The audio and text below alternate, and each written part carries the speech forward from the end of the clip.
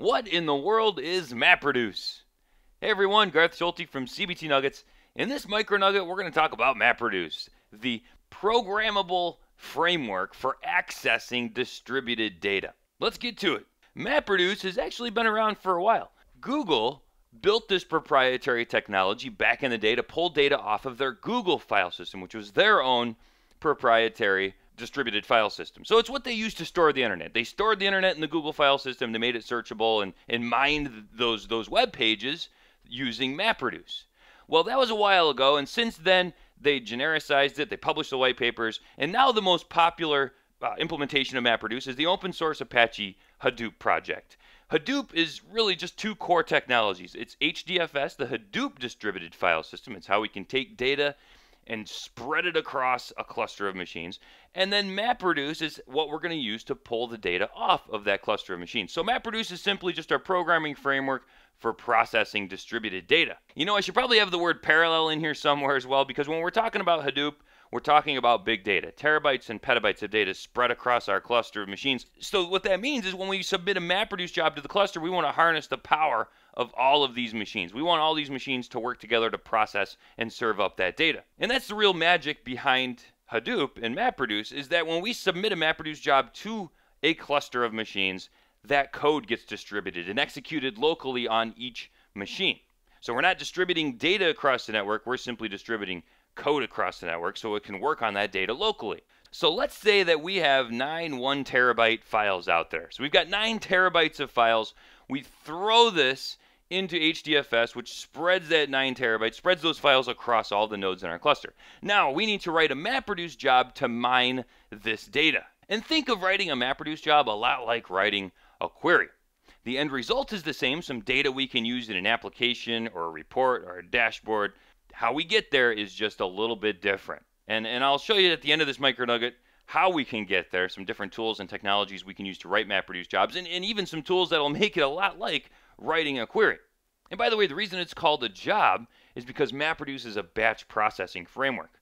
We're looking to get big answers out of our big data, and every little piece of data is a part of that answer. Now, there are ways to do real time analysis and work with specific pieces of data in Hadoop, and that's through a project known as HBase. Anyway, back to our example. So we've got 9 terabytes of data that we stored in HDFS, which is sitting on top of thousands of nodes inside of a Hadoop cluster. And let's say that we have billions and billions of animal records sitting inside of this data. And sticking with the Hadoop theme, you'll notice a lot of the projects in the Hadoop ecosystem are named after animals or something to do with them. We have Pig and Hive and Zookeeper, so on and so forth. So, so we'll say we're working with animal data. Now, if we were to program against the MapReduce framework directly, then we would need to write the map and the reduce implementation. So it's it, it, think of it as this phased approach. And mappers are what run on all the data nodes to get the data. So this is what would actually go and get the data. So if we were writing a query to say get all the animals by type, we want to know how many animals we have in our 9 terabytes of data broken out by type so we can get counts of them.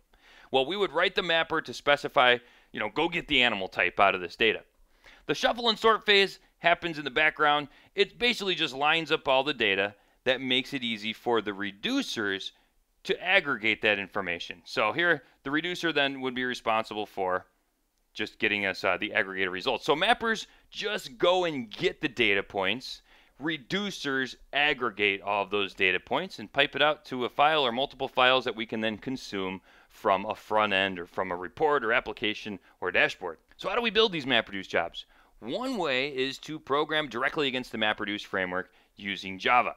So we would write the implementation for our mappers and our reducers, compile it into a jar file, and that is what we would submit to our cluster. Another way to do it is using a utility that comes with Hadoop called Hadoop Streaming. This is a utility that allows us to shell out our mappers and our reducers. So you can essentially build it in your programming language of choice as long as it runs on Linux. We could do Perl and, and uh, Python and Ruby.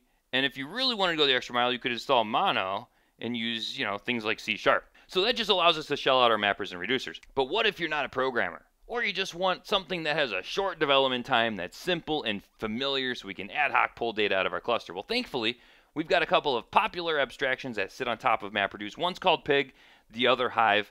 But what if you're not a programmer? Or you just want something with a short development time that's familiar and comfortable, and you can ad hoc pull data out of your Hadoop cluster. Thankfully, we have two extremely popular Hadoop projects, one called Pig, one called Hive. These are just abstractions that sit on top of MapReduce. If you were to create a, a Pig or a Hive script, it would, underneath the hood, spin up a MapReduce job.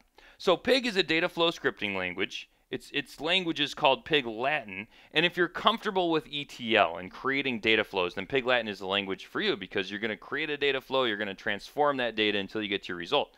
Hive is what a lot of data professionals gravitate to because it's essentially SQL for Hadoop. Its language is called HiveQL. It's a dialect of SQL, and if you've written any SQL statements at all, then you'll feel right at home with Hive. So whether you use it directly or indirectly, MapReduce is at the center of data processing in Hadoop. In the CBT Micro Nugget, we answered the question, what is MapReduce? We saw that it is our programming framework for parallel batch processing distributed data stored in HDFS inside of a Hadoop cluster. I hope this has been informative for you, and I'd like to thank you for viewing.